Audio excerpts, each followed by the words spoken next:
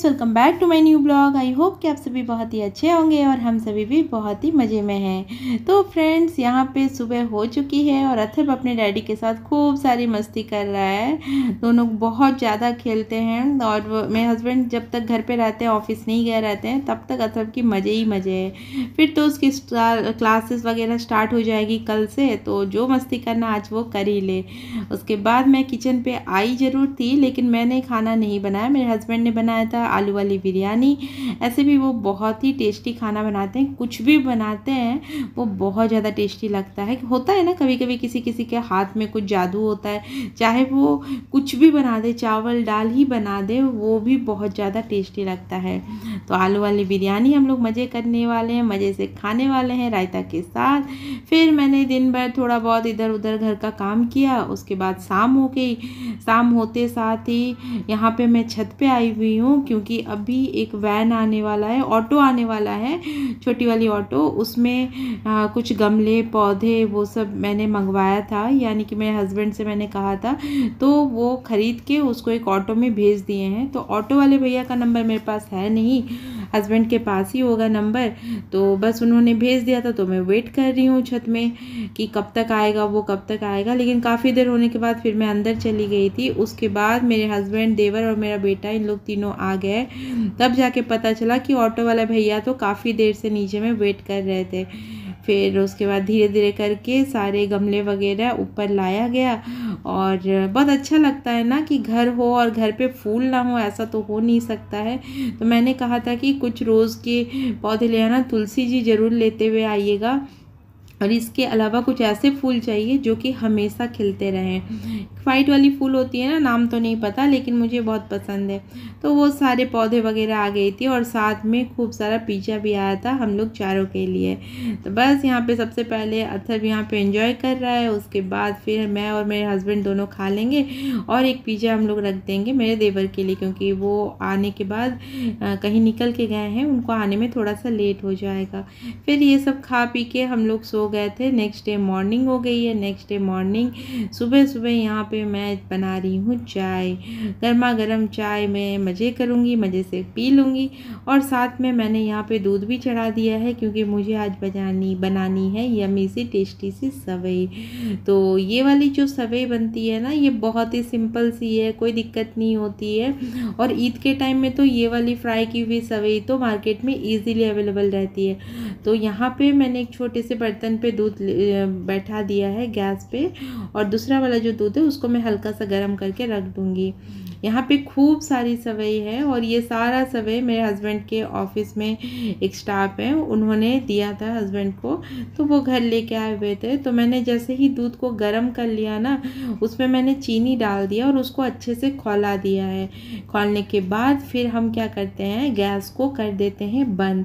और ये सवई आप थोड़े से अंदाज के हिसाब से लोगे। मैं ऐसे तो कोई नाप के बनाती नहीं हूँ। अंदाज से ही मैं बना रही हूँ। तो गैस को बंद करने के बाद मैंने यहाँ पे को सवे डाल दिया है और इसे थोड़ा देर के लिए हम इसे ऐसे ही छोड़ देंगे और जो दूध की गर्मी है, उसी गर्मी से सवई अच्छी तरीके से सॉफ्ट भी हो जाता है और बहुत ज़्यादा टेस्टी भी लगता है। मैंने पहले से ही शुगर डाल दिया था सवे में और अभी मैंने क्या किया, दो इलायची लिया, इलायची को अच्छे से कूट लिया था, कूटने के बाद उसकी पाउडर को मैंने उसमें डाल दिया है। और साथ में मैंने कुछ ड्राई फ्रूट्स इसमें डाला है। यहाँ पे मेरे पास आलमंड थी तो आलमंड थोड़ी सी किशमिश मैंने इसमें डाल दिया है। अच्छी तरीके से छोटा छोटा चॉप करके मैंने इसको डाल दिया। बस हमारी यमी सी, टेस्टी सी और झटपट इंस्टेंट बनने वाली सवई तैयार हो चुकी है। बहुत ही ज़्यादा टेस्टी बनी थी, बहुत ज़्यादा। फिर यहाँ पे मैं लग गई हूँ टिफ़िन बनाने के लिए। अथर्व की टिफ़िन मैंने पैक करके दे दिया है। आज मैंने उसको पूड़ी दिया था और साथ में आलू की सब्ज़ी दे दिया था और उस टाइम तो वीडियो शूट करने का बिल्कुल भी टाइम नहीं मिल रहा था। और यहाँ पे हस्बैंड की लंच रेडी हो चुकी है, रोटी, गोभी की सब्ज़ी, मिर्ची फ्राई और करेले की भुजिया।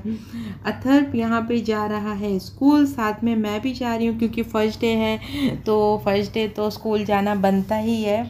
तो अथर मेरे हस्बैंड नीचे उतर गए हैं। अथर यहाँ पे उतर रहा है सीढ़ी से। ये उसकी स्कूल की यूनिफॉर्म है।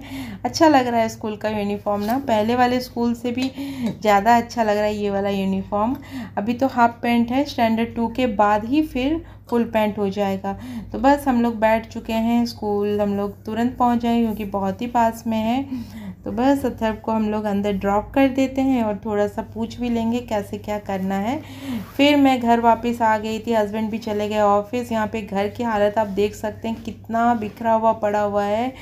जल्दी जल्दी मुझे ये सारे चीज़ को साफ़ सुथरा कर लेना है, क्योंकि किचन भी काफ़ी बिखरा हुआ है, साथ ही साथ बाहर में भी चप्पल जो जिसको जहाँ मिलता है सब फेंक के ही चले जाते हैं। कहीं का सामान कहीं पे पड़ा हुआ रहता है, कोई चीज़ एकदम आपको साफ़ सुथरे मिलेंगी नहीं। तो बस जल्दी जल्दी ये सब करूँगी, पहले मैं आपको दिखा देती हूँ पौधों को।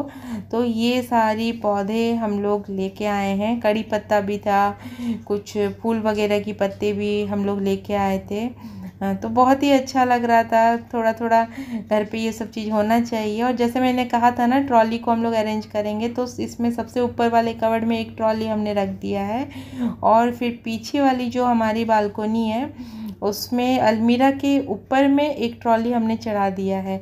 और ये देखिए दोस्तों, घर मैंने धीरे धीरे साफ़ कर लिया है। यहाँ पे सूज स्टैंड भी मैंने अच्छी तरीके से सेट करके रख दिया है। सिलाई मशीन जो है उसको खोलना बाकी है तो उसको भी मैं खोल के रख दूँगी। तो छत को मैंने अभी अच्छी तरीके से धोया है। यहाँ पे जितने भी सैंडल, शूज़ दिख रहे हैं, ये सबको मैंने आज साफ़ किया है और उसके बाद मैं एक पॉलीथीन में अच्छी तरीके से पैक करके फिर मैं शूज़ स्टैंड में रखूँगी क्योंकि यहाँ बहुत ज़्यादा डस्ट होती है तो फिर से गंदे हो जाएँगे। घर बिल्कुल अच्छी तरीके से साफ़ हो गया है। बेडशीट वगैरह मैंने बिछा दिया है। सारे चीज़, डस्टिंग जहाँ जो करना था वो सब मैंने कर दिया। फाइनली हमारी जो किचन होती है, किचन तो मुझे गंदा बिल्कुल नहीं अच्छा लगता है किचन भी बिल्कुल नीट एंड क्लीन मैंने कर लिया है। बर्तन वगैरह भी धुल चुकी है और दूसरे रूम में भी एक बार हम लोग चलते हैं। ये हमारा दूसरा वाला कमरा है। दूसरा वाला रूम भी बिल्कुल सेट हो गया है। अथर्व की बुक स्टैंड भी, बुक स्टैंड तो नहीं मिली, लेकिन ये वाली टेबल मेरे पास पहले से ही थी। उसको भी मैंने अच्छे से साफ़ करके बुक्स वगैरह यहाँ पे मैंने लगा दिया है। भगवान जी की भी हमने पूजा कर लिया है। पूजा करने के बाद फिर मैं अभी निकल के जा रही हूँ अथर्व को स्कूल से लाने के लिए। अथर्व के स्कूल जैसे ही मैं पहुँची, अथर्व की तबीयत ख़राब लग रही थी। फ़र्स्ट डे है तो थोड़ा सा हेडेक वगैरह भी हो जाता है तो हेडेक हो गई थी। फिर थोड़ा देर मैंने वेट किया। जैसे ही मैं वेट की, मुझे तुरंत ऑटो मिल गया था। फिर हम लोग घर भी आ गए जल्दी से। फिर अथर्व आके सो गया था। अथर्व की तबीयत थोड़ी सी ठीक नहीं है क्योंकि काफ़ी दिन के बाद वो स्कूल गया है और उसके चलते उसको थोड़ा सा हेडेक भी हो रहा है और अभी तो दो बजे छुट्टी हो रहा है तो इतना टाइम उसको बैठना पड़ जा रहा है। तो इसलिए थोड़ा सा ये तो होता ही रहता है हर बच्चों के साथ। तीन चार दिन ऐसे लगेगा, फिर उसको आदत हो जाएगी सेट हो जाएगा, कोई दिक्कत नहीं होगा। तो बस जैसे ही आया, उसको थोड़ी सी उल्टी हो गई हेडेक के चलते। और मैं लेके तो आ गई थी ऑटो में ही लेके आ गई थी, जो कि मेरे घर के पास में ही ला उतार दिया था। इसलिए कोई दिक्कत नहीं हुआ। स्कूल के पास से ऑटो मिल जाता है और घर के पास में ही उतार देता है। तो बस आते साथ ही उसको उल्टी हो गया। फिर जैसे ही ऊपर आया, आके सो गया है। तो मैंने सोचा कि सो गया है तो अभी जाती हूँ, वो सब साफ़ कर देती हूँ। तो पानी डाल के वो सब मैंने साफ़ किया। फिर कपड़ा धोना था, ये सब काम, छिटपुट छोटा मोटा काम मैंने किया। करने के बाद एक आंटी है सेकंड फ्लोर में, वो आ गई थी बात करने के लिए। उनसे मैंने बात किया। और थोड़ी सी खांसी भी हो रही है कल से। ठंडा गर्म के चलते। और, पानी वगैरह भी थोड़ा ज़्यादा मैं यूज़ कर रही हूँ, उसके चलते भी हो रही है। बर्तन इतना निकलता है कि हाथ धोने के लिए मैं, बर्तन धोने के लिए हैंड ग्लोव्स भी कभी पहनती हूँ, कभी नहीं पहनती हूँ, उसके चलते भी दिक्कत हो रही है। होता है ना कि हड़बड़ी में चलो जल्दी जल्दी धो लेते हैं, उस चक्कर में मैंने कुछ टाइम से हैंड ग्लोव्स भी यूज़ नहीं किया है। उसके चलते भी हो रही है और सोने का भी कोई टाइम नहीं है। कभी लेट हो जाता है, सोते सोते कभी जल्दी सो रही हूँ, कभी जल्दी उठ रही हूँ, कभी लेट लेट तो उठना तो होता ही नहीं है। यही सब चीज़ चल रहा है तो थोड़ा ठीक है, थोड़ा टाइम लगेगा एडजस्ट होने में, हो जाऊँगी। और आज मैंने सूज़ वाला कार्टून भी खोल दिया है, सिलाई मशीन वाला कार्टून भी मैंने खोला। और अथर की जो बुक्स थी, वो सब भी मैंने खोला, उसको अच्छे से सेट किया। जितनी भी इलेक्ट्रॉनिक्स आइटम थी वो टेबल में, वो सब मैंने हटा दिया है। इधर उधर जहाँ सकी मैं, जहाँ हो सका पॉसिबल वो सब जगह में मैंने उसको रख दिया है। क्योंकि अभी तक रेक का कोई ठिकाना नहीं है। दो वीक हो गया मुझे आए हुए, लेकिन अब मुझे तो यहाँ पे कुछ पता नहीं है जो मैं जाके लाऊं, करूँ। अब डिपेंड करता है कि हस्बैंड कब लाएँ, क्या करें, उन्हीं पे डिपेंड करता है। जमशेदपुर होता तो अब तक मैं कर ली होती। मुझे इतना तो पता है, क्योंकि वहाँ पे मुझे सब चीज़ का नॉलेज है, कहाँ से लाना है, क्या करना है, सब कुछ मुझे पता है, सब कुछ मैं कर लेती। लेकिन यहाँ पे एकदम अननोन जगह है, कुछ ज़्यादा मुझे पता नहीं है। यहाँ से सिर्फ़ मैं स्कूल तक जा सकती हूँ, स्कूल से घर आ सकती हूँ। तो देखा जाए कब क्या होगा, लेकिन देखा जाए कब क्या होगा, तब तक का मैं वेट नहीं कर सकती हूँ। मुझे जहाँ जो जैसे हो रहा है, सब निकाल के मुझे सेट करना है, क्योंकि घर बिखरा हुआ मुझे बिल्कुल पसंद नहीं है। ना स्टार्टिंग में पसंद था, ना कभी मुझे पसंद हुआ है, ना मुझे आगे पसंद होगा। मुझे हमेशा साफ़ सुथरा रहना पसंद है और मुझे लगता है कि हर सामान हर जगह पे सेट होना चाहिए। बिखरा हुआ सामान मुझे बिल्कुल भी पसंद नहीं है। पहले भी जब मैं पीजी में रहती थी ना तो उस टाइम भी जिस दिन मैं शिफ्ट करती थी, चाहे मेरे पास जितना भी सामान हो एक ऑटो भर तो सामान हो ही जाता था मेरा, और उतना सामान मैं एक दिन में ही रात भर लग के मैं सेट कर देती थी। मुझे बिल्कुल भी घर गंदा बिखरा हुआ, इधर उधर सामान फैला हुआ पसंद नहीं है। तो देखती हूँ क्या कर सकती हूँ, कब तक कर सकती हूँ, देखा जाए। और भी दो कार्टून बचा हुआ है, वो सब मैं कल सेट कर ही दूँगी फाइनली तो बस थोड़ा सा टायर्ड फील कर रही हूँ।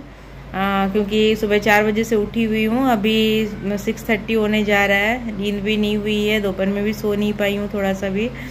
देखती हूँ, अभी भी कुछ कुछ काम बाकी है। अथर की बुक्स कॉपी वो सब कुछ में कवर लगवाना है, लगाना है। क्योंकि कल से आज तो रफ कॉपी लेके गया था। कल से तो स्कूल की बुक्स और कॉपी देनी पड़ेगी। तो देखती हूँ क्या क्या अभी काम ख़त्म कर सकती हूँ।